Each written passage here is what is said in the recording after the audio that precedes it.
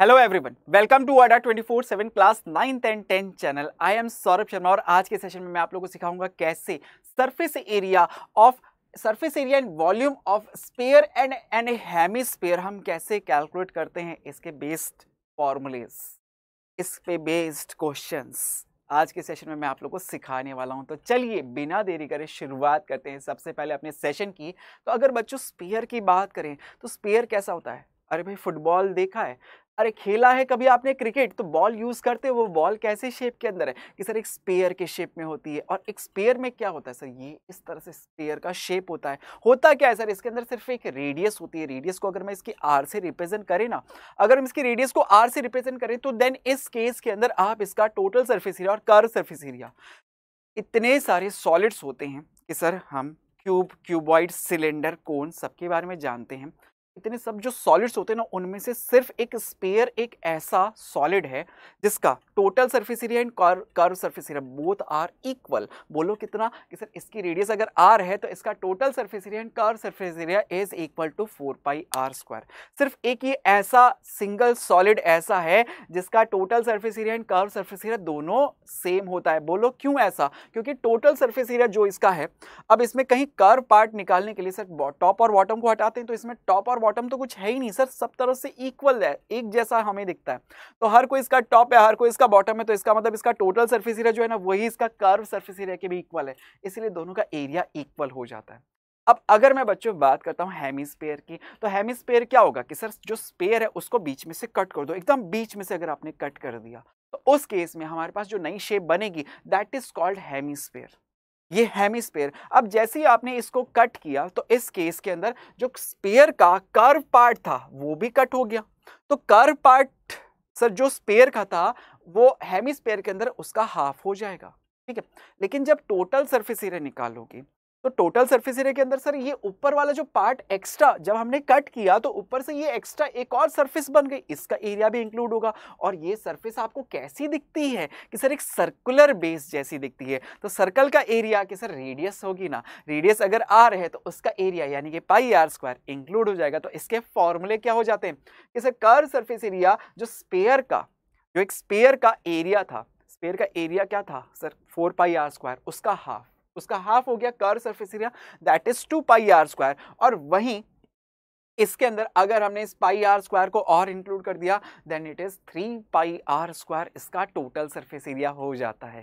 ठीक है? तो ये आपने इसके सरफेस एरिया के फॉर्मूले देखे। अब अगर हम वही बात करें वॉल्यूम की, एक स्पेयर जिसकी रेडियस आर है तो उसका वॉल्यूम क्या होता है? कि सर उसके वॉल्यूम का फॉर्मूला लिखते हैं four upon three pi R cube four upon three pi R cube. इसका मतलब क्या हुआ कि सर, अगर मुझे स्पेयर का वॉल्यूम कैलकुलेट करना है तो सिर्फ़ मुझे क्या पता होना चाहिए? ओनली उसकी रेडियस सिर्फ़ अगर आपको रेडियस पता है ना तो आप उसका वॉल्यूम कैलकुलेट कर सकते हो।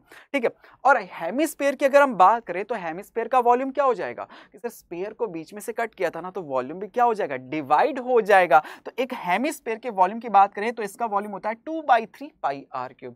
तो अगर आपको इसका भी वॉल्यूम कैलकुलेट करना है तो आपको सिर्फ़ रेडियस पता होनी चाहिए। आपने एरिया का फॉर्मूला भी याद है? कि सर स्पेयर की बात करें तो four pi R square radius R की वैल्यू ओनली हमें पता होनी चाहिए। और अगर हेमिस्पेयर की बात करें तो total surface area three pi R square curve surface area two pi R square सिर्फ़ आर की वैल्यू आपको पता हो गई ना तो आप क्वेश्चन को ईजिली सॉल्व कर दोगे। तो चलो फिर क्वेश्चन करके बताओ। देखिए जरा क्वेश्चन करके देखें। जैसे यहाँ पे ये क्वेश्चन आपको दिया हुआ है। क्वेश्चन में ये कहता है the radius of spherical balloon increases from seven centimetre to 14 centimetre as air is been pumped into it कि कोई एक बैलून था, पहले वो छोटा था, कितनी रेडियस थी उसकी? सेवन सेंटीमीटर अब उसके अंदर एयर को पंप किया गया। पंप करने से एयर अगर उसके अंदर गई तो ऑब्वियसली बात है, उसका शेप बढ़ जाएगा। अब उसके, उसकी जो रेडियस है वो कितने हो गए सर 14 सेंटीमीटर यही क्वेश्चन आपसे क्या रहा है? तो आपसे पूछ रहा है find the ratio of surface area of the balloon in two cases इन दोनों केसेस के अंदर जो सरफेस एरिया का वॉल्यूम इन दोनों केसेस के अंदर जो सरफेस एरिया है, इस बैलून का, आपको उसका रेशियो फाइंड आउट करना है। तो सर क्या क्या क्या सर देखो, सबसे पहले हम लिखते हैं, हमें क्या कैलकुलेट करना है सर रेशियो रेशियो और किसका रेशियो कि सर सरफेस एरिया इन सरफेस एरिया सबसे पहले when when radius is, when r is 7 centimeter to surface area, when radius is 14 centimetre correct इन दोनों केसेस के अंदर मुझे एरिया का रेशियो कैलकुलेट करना है। अब एक स्पेयर की बात हो रही है तो सर उसके स्पेयर के रेडियस का फॉर्मूला क्या लिखते हैं? Sir four pi R square, इसकी रेडियस सेवन है, इसकी रेडियस को आर वन से डिनोट कर देते हैं और वहीं इस केस के अंदर रेडियस बढ़ गई 14 सेंटीमीटर हो गई तो इसकी रेडियस को आर टू से डिनोट कर देते हैं तो ये हो जाएगा four pi R two square बोलो करेक्ट अब जैसे ही आपको रेशियो कैलकुलेट करना है तो आपने यहाँ पे एक चीज़ नोट करी। ये फोर से फोर कैंसिल पाई से पाई कैंसिल तो बचा क्या है sir R one square upon R two square R one square upon R two square क्या आपको आर वन की वैल्यू पता है? That is seven centimetre R two की वैल्यू पता है? दैट इज़ फोर्टीन सेंटीमीटर तो अगर यहाँ पे पुट करें sir seven into seven upon fourteen into fourteen अगर आप इसे सॉल्व करोगे तो देखिए सर सेवन वन ज़ा सेवन सेवन टू ज़ा फोर्टीन सेवन वन ज़ा सेवन सेवन टू ज़ा फोर्टीन ऊपर आया सर वन से वन मल्टीप्लाई होने के लिए। सो दैट इज़ वन नीचे टू से टू मल्टीप्लाई होके। दैट इज़ फोर तो रेशो क्या आया? कि सर रेशो की फॉर्म में आप बताइए answer so one ratio four is your answer of this question हुआ सॉल्व इजीली आपने इस क्वेश्चन को कैलकुलेट कर दिया। तो यहाँ पे हमने क्या सीखा? Surface area of a sphere calculate करना। चलिए नेक्स्ट क्वेश्चन पे बात करते हैं। नेक्स्ट क्वेश्चन क्या कहता है? Find the volume of a sphere whose radius is seven centimetre बहुत ही सिंपल सा। कि सर, अब की बार हमें क्या करना है? स्पेयर का वॉल्यूम कैलकुलेट करना है, जिसकी रेडियस सेवन सेंटीमीटर है। तो ऑब्वियस बात है, सर, अगर वॉल्यूम कैलकुलेट करना होता है हमें, कि वॉल्यूम ऑफ़ स्पेयर अगर हमें कैलकुलेट करना होता है तो उसका फॉर्मूला हमें पता है sir four upon three pi R cube यही फॉर्मूला होता है। और हमें सिर्फ़ आर की वैल्यू ही तो पता होनी चाहिए सर क्वेश्चन में क्या गिवन है आपको? दैट इज़ सेवन सेंटीमीटर तो फोर अपॉन थ्री पाई की value twenty two upon seven into radius is seven into seven into seven देखिए सर कुछ कैंसिल हो सकता है। ये सेवन से सेवन गया। बाकी तो और कुछ कैंसिल होता हुआ दिख नहीं रहा है।